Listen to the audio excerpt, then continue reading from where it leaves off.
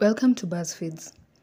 Kenyan musician and entrepreneur Akothee's fiancée Nelly Oaks made a grand romantic gesture for her 41st birthday by featuring her on a billboard showcasing not only her birthday event but also her entire empire.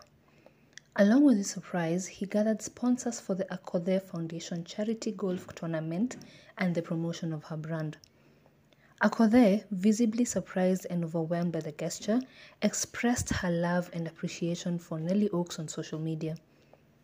Despite their busy schedules keeping them apart for the past three weeks, the couple's relationship remains strong and they continue to support each other's endeavors.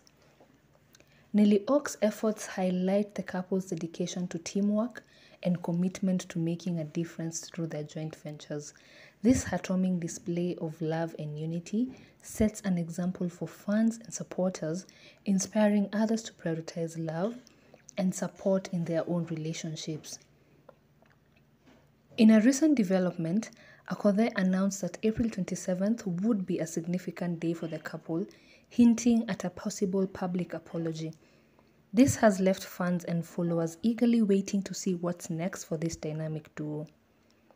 As Akothee continues to recover from an illness, Nelly Oaks' thoughtful surprise has undoubtedly lifted her spirits.